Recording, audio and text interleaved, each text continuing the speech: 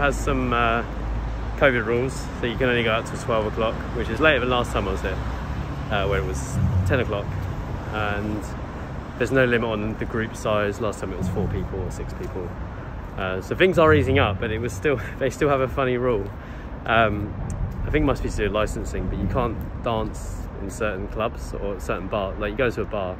Um, like I just went to a bar which was like an arcade or a games bar. So I was playing Time Crisis, which is like a arcade game where you shoot.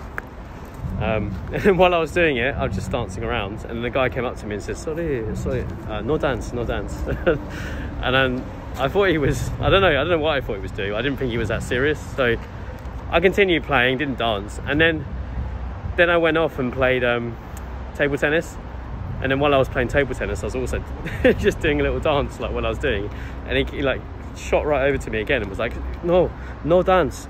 and I had to ask him. I was like, "Why? Why not? like, is it actually like illegal to dance?" And he was like, "Yes, government, government rule, no dance."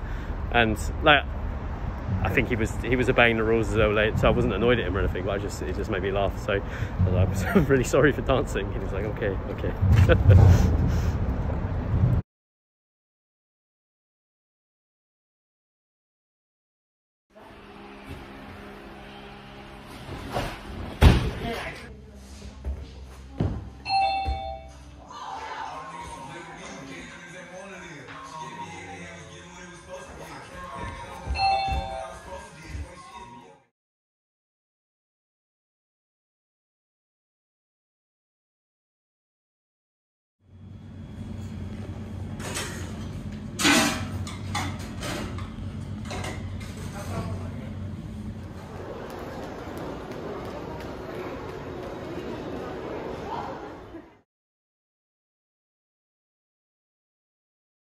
Ça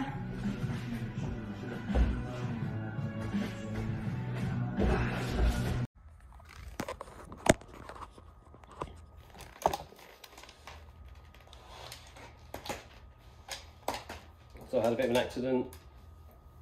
Hey. Eh. So I was at the tricking class earlier this morning and I fell awkwardly, like sprained my ankle. So there goes my training for the rest of my time here probably. Um, it's not it's not awful. I didn't break a bone or anything, but still I rolled it and I can't put any weight. Well, I can put about twenty percent weight on it. Uh, so I'm on these crutches.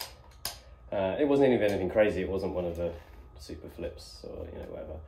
Uh, it was more just had a lot of momentum. And ironically trying to do a move slower, but I think it's because I was doing it slowly, but with momentum. My brain didn't really know where I was, so I came down and just rolled it. Uh, instant pain, it was crunch. And then, luckily, good thing about Korea is that there's always like these clinics, or they call them hospitals, but across the road you can get basically seen straight away. So I went there uh, with, the, the, instructor just after the class, uh, and then got a scan immediately, and then got this, this boot and, and the crutches. Uh, cost about eighty pounds for all of that. To be seen instantly with a doctor. So they said it wasn't it wasn't bad, but it's I need to go back in four days and get it checked out again. So just here feeling sorry for myself a bit, but also I was with the Korean guy, uh, the instructor, but his English isn't great, so we're using like Papago. Uh, he talks to him a little bit, but I did actually manage to use uh, some basic Korean there, which is good. So I know that like Wenbal is left leg or uh, Palmok is ankle, and uh, so I could tell them where it was. I mean, you can point always, right? But at least I could say like uh. Uh, apayo, apayo means uh, hurt, and Quenchaneo means uh, okay. So it's more like Quenchaneo, Quenchaneo, or like apayo, apayo. Uh, you can point at different bits. Um, so yeah, it was nice. Uh, not nice, it was uh, good to actually be able to communicate, even at a very basic level. But it was, uh, you know, at least some of it went in I actually remembered. So.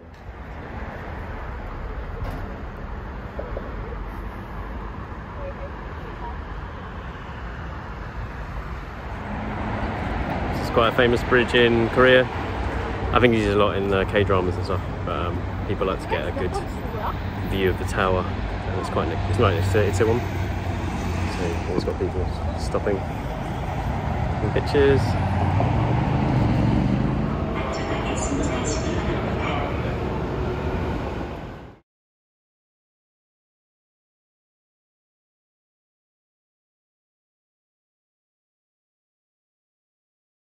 By the time we got to the point, I was so tired, I was like, fuck it, I'm going home. Just in the wheelchair at the, uh, the museum.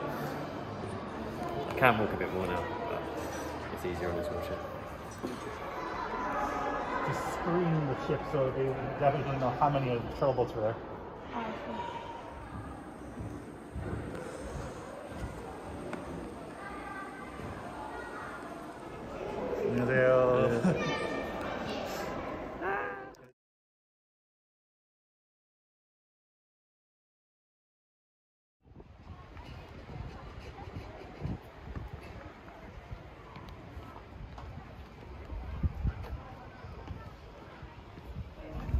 It.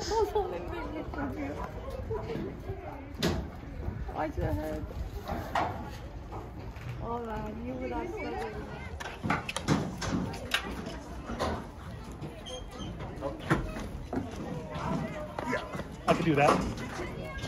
Hmm. Now this one I definitely wouldn't be able to fit in.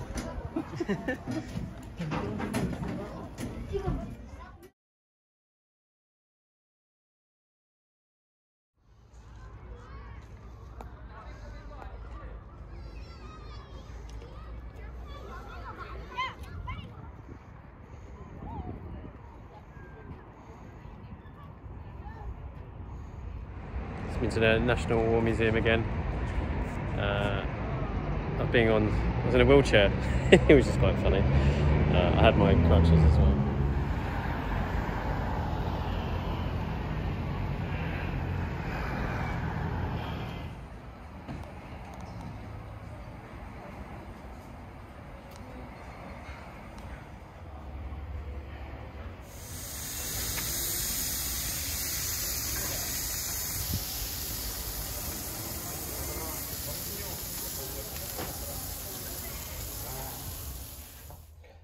So legs starting to be a bit better. I'm still still on crutches, but um, I can actually walk without them.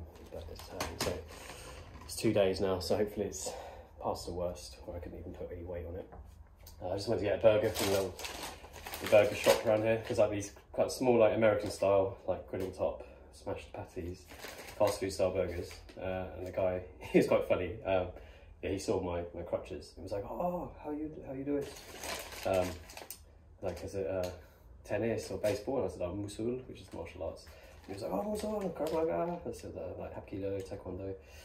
And then he was like, "Oh," and then asked like what rank I was, and I said like Sabonim, and then he was like, "Oh, Sabonim," which means master. He, he kind of misheard me, but he was like, "Okay, okay." So he gave me free jalapenos because I was a, a Hapkido master, and then um, he said, pay by card, it's going to Hill, it's, it's okay for, for, for master. He kept bowing. it's quite funny. So, got me nice burgers here. Um, I got two. Like, I don't like getting big burgers. I like getting, yeah, you're going to have more burgers, yeah. Get two. So, quite big. Extremely sloppy, but really good. Like caramelized onions. Not, what cheese is. Um, soft bun. Yeah, he said there's jalapenos, so very good.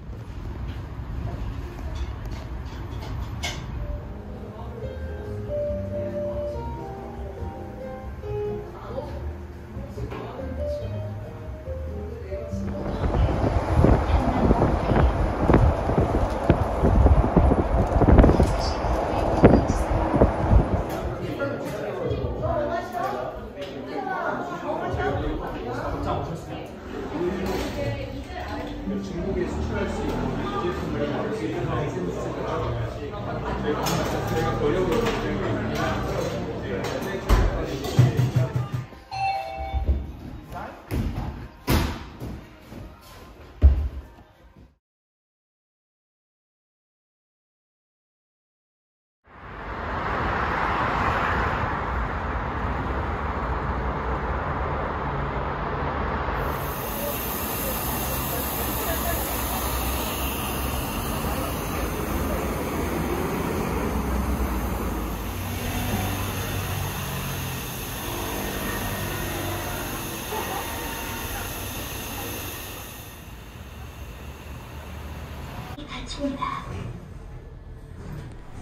It's been about six days now. I've regained the ability to walk just about, so a little bit limpy. I keep getting prescribed painkillers by people, so I've taken some of those, but I don't want to overdo it. Uh, but it's good to not have the crutches anymore.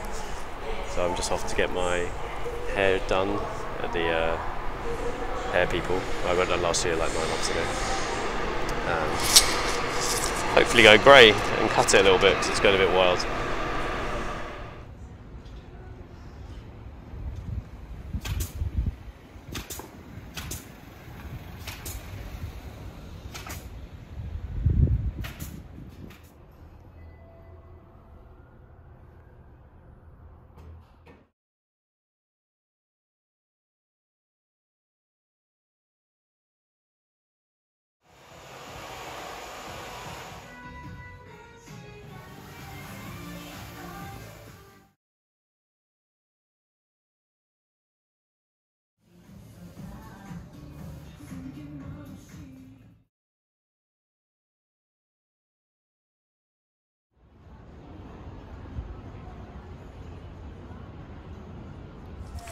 So I just finished at the hairdressers. So as you can see, my hair's a little bit different. It's still long.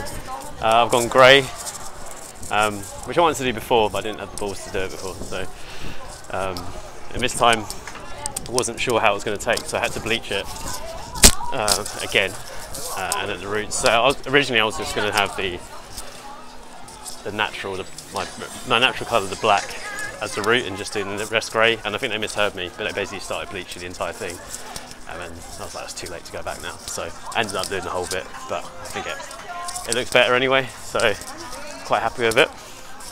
Uh, I don't know if it will fade. Apparently it will fade to like a khaki colour, but all good for now. And they told me I look pretty. So it took about five hours. So I was there from 11. I thought it might take three hours, but I was there for five hours in the end. So a, a place in Hongdae. So Hongdae now, is where the, uh, my kids hang out. Trendy, trendy place. Called Hongdae Festival Street. I mean, it's quite quiet. This is a Thursday afternoon, uh, and I'm kind of limping. so I can walk without the crutches again. So, but I'm limping a little bit. I took some painkillers, but they've worn off. So maybe I need to be careful with that. Very tasty.